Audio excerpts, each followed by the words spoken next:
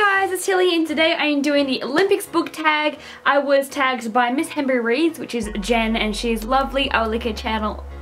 I will link a link to her channel below. Um, the original creator of this video, I believe, was RJ at The Secret Stack, so there'll be a link down there too, you know?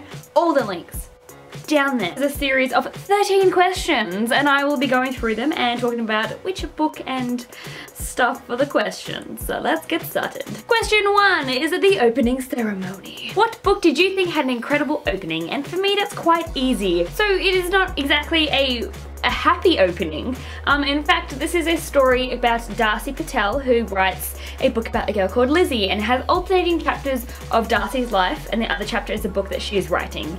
And it is in fact Lizzie who she is writing that has this amazing first chapter where she's inside of an airport when it is basically attacked and people are being gunned down around her. Um, and it's just absolutely crazy. Like it sets such a pace for the book, but it's just one of those things that you're straight into the action and it's crazy because he writes it so that you fall in love with the characters even at the very beginning. Like you've just been introduced and already you just want to protect them and I just thought it was amazing and I just really wanted to like the book after that. Question two is the games. What is your favorite fictional competition? And there are so many competitions, but my favorite would have to be the Scorpio races by Maggie Stiefvater because I would totally participate in the Scorpio races, you know, a race where someone dies every year and you get to ride these wild as hell horses that aren't tame at all and uh, verse vicious people in November. Sounds great. Sorry, am I looking at the computer because I'm such a bad memory.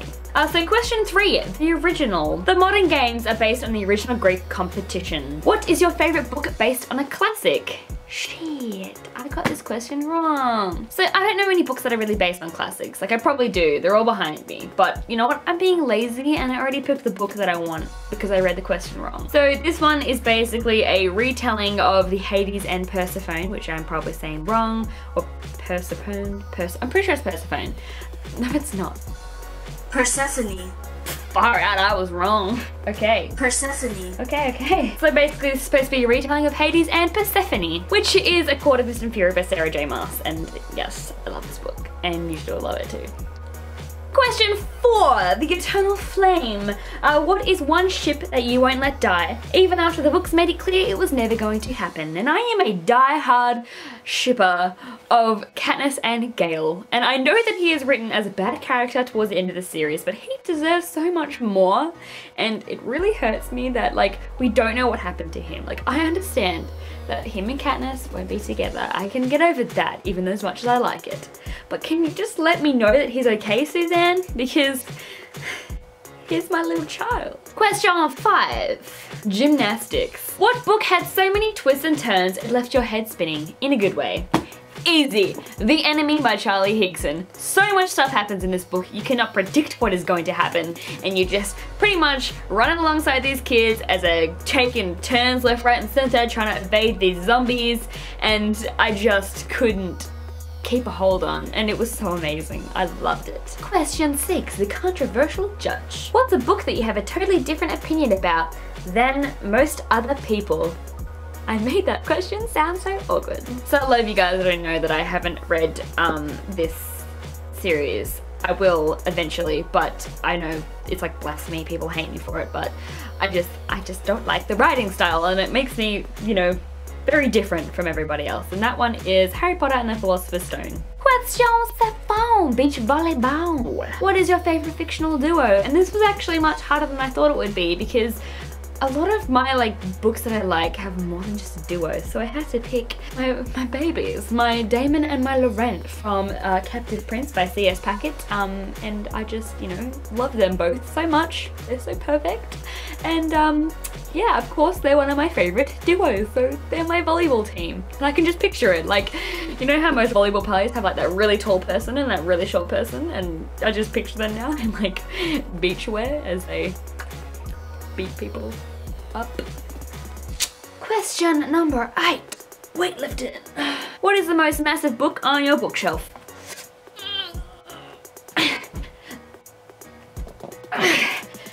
Where's Liz?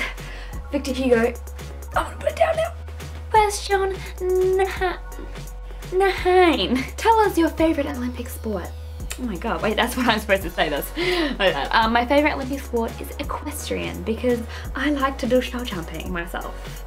And it's fun and dangerous and the horses are so beautiful. What is a book that you just tore through with world record speed? I was like the Usain Bolt yesterday because I tore through Nerve by Jeanne Ryan in like three and a half hours. I was, yeah, I really wanted to know what happens because I'm impatient. Question number 10. Uh, synchronized swimming. Um, what is a book series that you kept reading even though you don't have any idea why? This one I like, I, I remember reading it because it's kind of like one of the series that you had to finish. And even though I did enjoy the start of it, the end of the series was just like, what are you doing?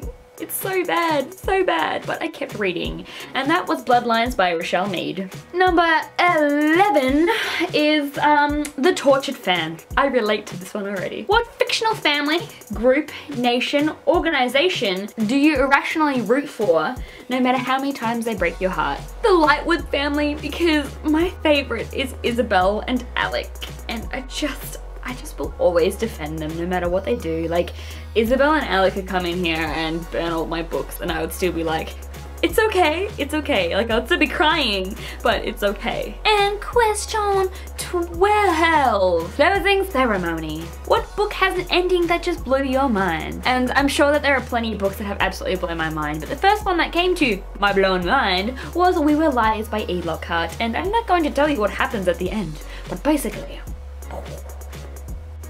and question 13 is relay race, which is who do I tag? I am quite an athlete in this, so let's do this. All right, I tag Mary from Books and Cookies. I tag Liv from Stories for Coffee. I tag Cat from Little Book Owl. I tag Sam from Sam Barnes. I tag Chami from Read Like a Wildfire. I tag you watching this. I tag everybody because I have to win at this. And so that is the Olympic book tag and I plan on doing another Olympic themed video um, in the next few weeks so be sure to keep an eye out for that one because it will be gold. Thank you guys for watching, don't forget all the links are below and I will see you guys again soon. So bye and thank you again to Jen for tagging me. Check her out.